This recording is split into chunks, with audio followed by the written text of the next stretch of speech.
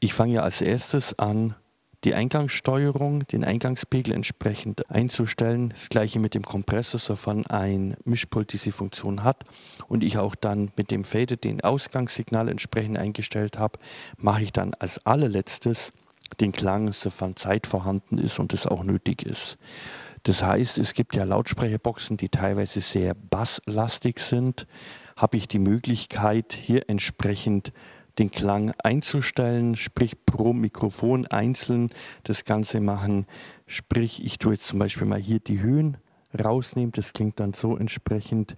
Ich gehe ins andere Extrem und dann habe ich natürlich entsprechend den Klang. Sprich, ich kann natürlich auch Zwischenstufen machen. Hier in der Mitte rastet das jetzt zum Beispiel ein. Jetzt gehe ich mal in den mittleren Bereich und gehe natürlich immer in das Extreme, sodass man dann hören kann, wie sich das auswirkt. Natürlich macht es einen Sinn, dass ich auch irgendwo Zwischenstufen hernehme.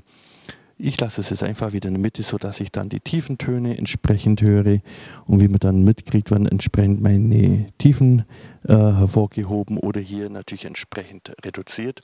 Und so habe ich die Möglichkeit, dann pro Gesprächsteilnehmer oder pro Instrument oder pro Zuspieler den Klang etwas einzustellen, abgestimmt auf die Lautsprecherboxen. Eben habe ich Boxen, die sehr basslastig sind oder sehr höhenlastig sind, habe ich da die Möglichkeit, das entsprechend zu machen.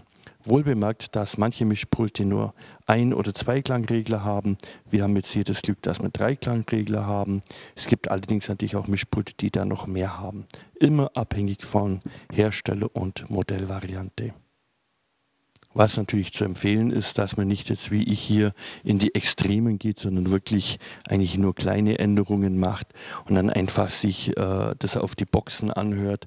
Da wäre in dem Fall ein Kopfhörer fehl am Platz, weil ich ja dann den Klang über den Kopfhörer einstelle. Wenn aber die Lautsprecherboxen einen ganz anderen Klang haben, wo ja auch dann die Saalleute das dann mithören, äh, macht natürlich nicht den Sinn, einen Kopfhörer als Referenz zu nehmen. Und da würde ich einfach dann vorsichtig mit kleinen Einstellungen sich rantasten und einfach ausprobieren.